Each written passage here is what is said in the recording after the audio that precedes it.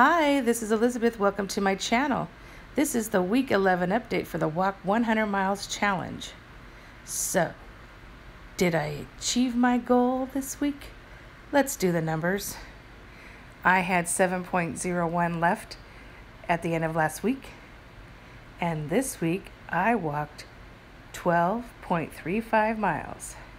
Yes, I exceeded my goal by 5.34 miles. So, I still intend to keep walking and I intend to keep you updated.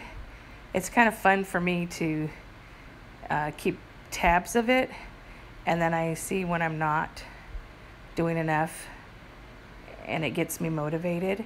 But I will likely include it within another update video that I'm planning to start doing on Fridays. So you'll likely see it there.